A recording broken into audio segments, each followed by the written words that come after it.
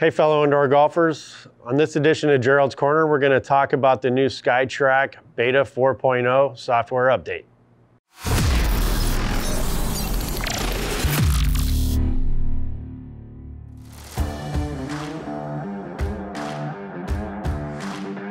So I just want to show you where I found this to start with. Um, you know, I, I, Googled SkyTrak version 4.0 or SkyTrak beta. And so it brought me to the simulator forum where they had it there and it's like, hey guys, try this out. So here are your updates as far as this goes. We've got improved range graphics, improved tracers, improved camera views, limited support characters and profile names, restricted altitude and temperature to realistic values. So your buddy's not gonna tell you they're hitting their six iron 250 because they've got it set on 25,000 feet, no humidity and uh, 150 degrees or something. Fixed duplicate club bug and bag management, tongue twister, fixed bag mapping bug in offline mode, miscellaneous bug fixes and improvement. So those are the things that they updated in it.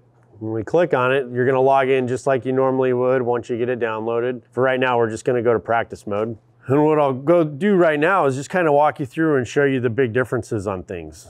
You know, upper right-hand corner is your control button, essentially, your control center, where you can see your shot history, numeric display, shot optimizer, and for right now we're gonna go to session settings. And what they've done is they've taken the dispersion circles from shot history view and they've taken in the dispersion circles and put them here so you can toggle that on and off if you want. And then your camera angles, all that kind of stuff, your shot tracers, how many shots you want to have, 550 or just one. The other new thing is the graphics. You know, you can change your graphics to low, medium, high, maximum, whatever you want to do as far as that stuff goes. You can go ahead and change that. I'm gonna leave it on maximum for now. Actually, let's try this. Let's put it on low just so we can get a look of it at it and see what's going on. And I'm gonna hit some shots on this to see if that helps with the delay at all. But uh, other things in here, just so you know, in case you haven't gone in here before, you know, your distance, you can either select carrier total, your shot dispersion, carrier total, you know, in case you do spin the ball a little bit your dominant hand, obviously, if you're right or left-handed, and then your ball spin. You can either put it on the spin axis, and that'll give you a degree of yaw, or your side spin, it'll give you a raw number. And then that's where you change course conditions, wind blowing, what direction it's coming from. Depends on where you live, I guess, if you want to practice into the wind, if you have a prevailing wind. Wind speed, humidity, altitude. So if you live in Texas, you're gonna go play golf in Colorado, obviously you're gonna wanna drop that humidity and jump up the altitude just to give you a better sense of what the ball's gonna do when you are in Colorado. So that's a good thing to practice. The shot optimizer and the numeric display don't really matter for us yet because I haven't hit any shots and same with the shot history. But this is also where you exit your session when you get done, just so you know, in your control panel. The other thing I think a lot of people miss is the practice area settings.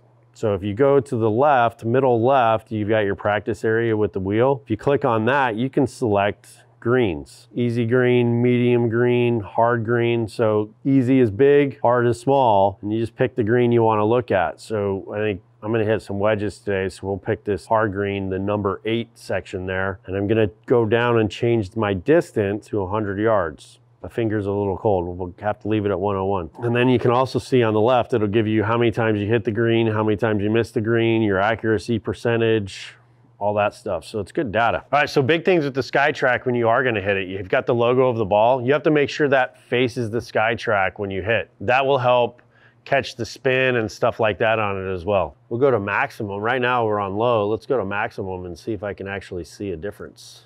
Got a little bit different. Trees got a little thicker, sky got a little clearer. Cool to have. All right, let's hit a couple more so we can see some data.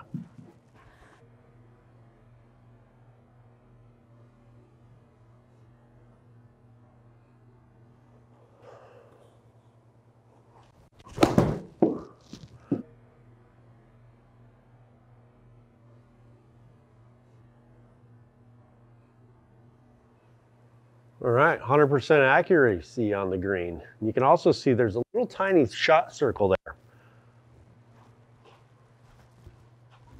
So with that shot circle, you can see that little strip. I'm gonna hit one more shot for you so we can get a better idea on that dispersion circle. But I like that factor that they put that up there now, that they added that to it. That's kind of a cool little feature. All right, so one more shot just to get it so you can see the difference in that dispersion circle. I'll hit it a little bit longer. Just to get an idea of where that, how that circle comes out. Cause right now it's just that little tiny strip. But now we have a big circle on there. That's a really cool feature. And with that big circle now, gives you a better idea kind of how your shots are getting created. Four for four, I'll take that all day. 100 yard sand wedge, I should be 100% on the green, right?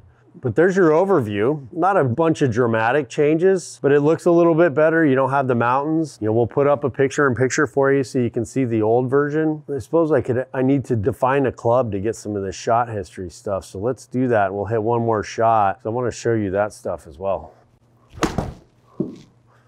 Might be my first actual miss of the green. Well, I still hit it. So when we go to shot history, there's all your data.